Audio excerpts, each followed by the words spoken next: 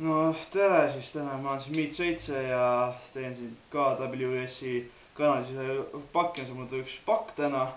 siin kohas, kus see, näed, paber oli, siin on mu nimi, ma ei tea.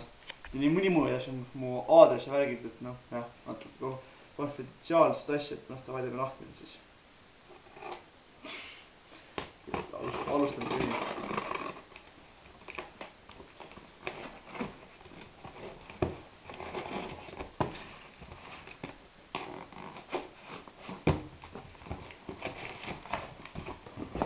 Pakiks, pakiks on, algab ära. ikka veel ei tea. ikka ei tea. siin on mingi porolöön. porolöön, sihuke pehmendav asi on. veel. nii, ei ole teab mis tipptasemel pakkimine. vajab asja ära, kuna ta tavaliselt pakkimist on. nii, siis on driverite disk, siin on üheksakümmend kaheksa ME kaks tuhat XP Windowsi peal, et see on siis versioon neli punkt viis. Ja nagu te näete, on tal loogikagi oma. ehk aimate, aimate juba, mis see on. mis siin veel on uh,? Important information on mingi tähtis informatsioon. no niikuinii mingi garantii, pohh, mul see niikuinii toimib. nii. ja nüüd vaadake, vot see on see asi. üldiselt pakis oli, see on kõige tähtsam asi. kuidas üles aidata. no kui sa seda oskad, kui sa seda sul vaja läheb, siis noh, sorry. siis sa ei, sa ei tea midagi arvutitest. ja siis on. Siin on, davai. siin on pedaalid. õnn, õnn, õnn, õnn. nii, see arvatavasti läheb siis, ma ei tea, rooli külge äkki või, vaatame, nojah. igatahes pedaalid töötavad ja kus, kusjuures tunduvad paremad näiteks võrreldes ühte teise rooliga, mida ma toon teile varsti taga näituseks. mis on rool. kuule, päris kena näeb välja, kasutame seda. nii, nupud, tundub töötama, USB kaabel. nii, iminapa, siia tuleb see. nagu näha, nii siis ühendame ära. ja nüüd võibki rallit sõitma hakata, ma olen korra ära.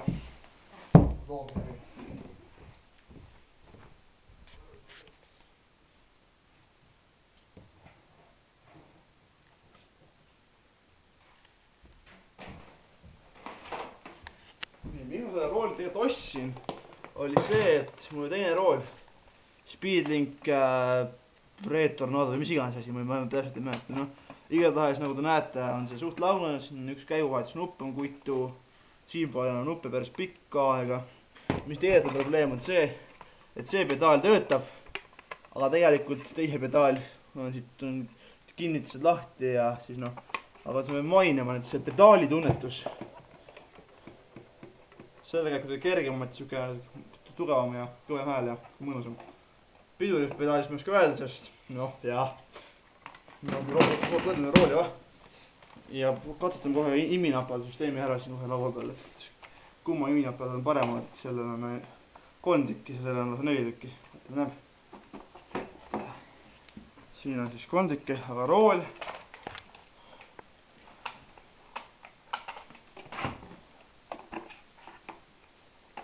käib igatahes kergemalt kuidagi. lõpp on nagu raskem sellest.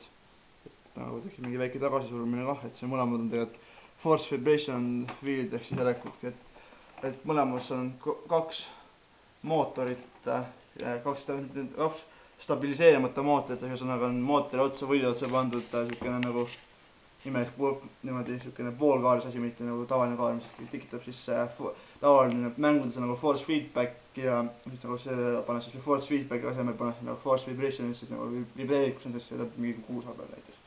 aga nüüd davai, proovime siis siin laua peal. on natuke palju asju, mida siit kohe jätan ära. nii ja proovime. laud on enam-vähem puhas. Juhtma kõigepealt lahti kerima, sest ma arvan, muidu see ei toimi.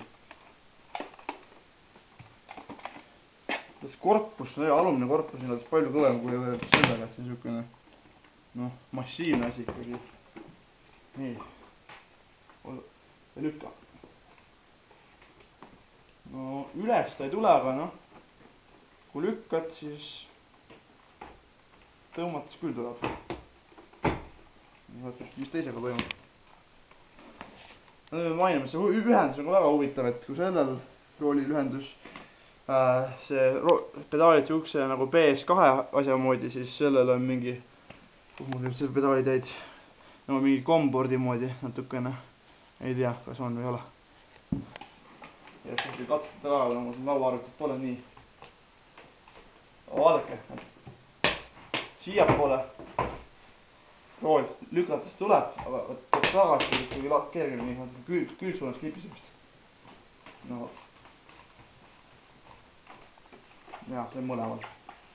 aga vähemalt lükates ei liigu nii hullusti, mis on vist nagu tähtsam võrreldes sellest, kui sa nagu, ma arvan, rallisõites nagu ei tõmba enda poole, vaid sa ikka lükkad. aga mõne hetke pärast tagasi vaatama arvutit, aga proovime selle uue ratta ära. rool siis arvutiga ühendatud, Driveri CD pealt äh, on installitud värk, see oli päris huvitav äh, kalibratseerimis nagu asi, mis käib päris kahtlane minu arvates, aga vahet pole. mis va- va- vahepeal, mis huvi-, huvitav vastu vaadake, saab niimoodi välja, välja tõmmata, et saaks panna endale sülle ja siis sõita. niimoodi.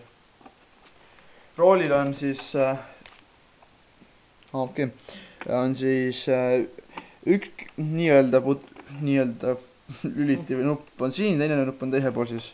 Et no arvates need käiguvahetusnuppud on nagu, ma pean mainima, ma arvan, need on töökindlamad võrreldes nendega, mis mul ära murdsid juba. tunduvad vähemalt nii. esipaneelil on siis äh, kaksteist nuppu. siin on üks, kaks, kolm, neli, huvitav, kus ei ole kohtades nuppu siin ju.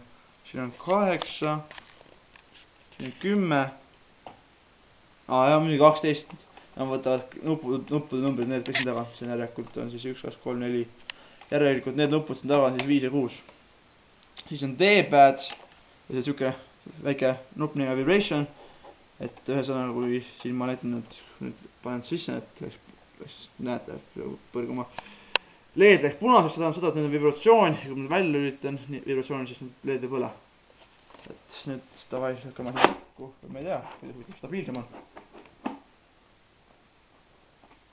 vahepeal las on nii, et võtame mängu, võtame mänguks on siis seekord GTA, GT Legends. me peame läpaka peal mängima, kuna me ei ole hetkel ammu siin, on suur, suur arvuti ikka kodus hetkel. et siis läheb asja ära sellega.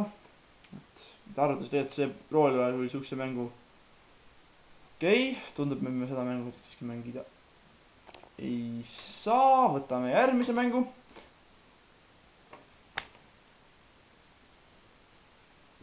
configure advanced network input game äh,. okei okay,, see võib vahepeal video kinni panna. et oleme siis praegu siin siis selle rooli nagu kontrollerite seades ja siis mis me siis videoda teeme, sest noh, okei okay,, siin nagu tavaline asi, et noh, näete, et rool keerab ja blablabla bla,, bla, aga mis on huvitav, kuulake nüüd no.. ja, ja rool ka väriseb samal ajal. kui me vahet- vahetame rooli välja, siis ta ei värise, tuleb, tuleb, tuleb ainult heli. ma panen vibratsiooni sisse, tagasi, vibratsioon. et see on jah sihuke huvitav asi. nii, igatahes nüüd jah Pro,. proovime mingit toda huvitavat. et siis, siis võtsime ühe mängu, mänguks on siis Colin McRae no kaks null, et nüüd kahjuks hetkel seda arvutis polnud teisi mänge. nagu näete, auto liigub. ja lihtsalt auto liigub vahepeal eest ära. üritame järele jõuda. nagu te näete, siin on seda põhimõtteliselt gaas põhjas. ma driftin siin, ma ei tea, siin äkki isegi Marko Märtin kuskil, Colin McRae oli siin kindlasti, Colin McRae ajal mä- Märtin siukse. Mäng pani kokku, ma ei ole kindel, et äh, rool kokku pani, vaid ma arvan, see on arvuti viga, arvuti läheb päris kuumaks ja ma arvan, et see on, vaatame ah,, isegi, näete, see oli huvitav. nii, vahetame väike äh,, noh jah.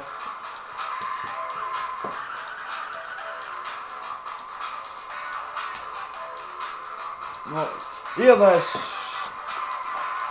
tundub, et rool töötab, et olgugi mul mingi, mingi, mingi imeliku asja tõttu juhtub iga teatud aja tagant siuke asi.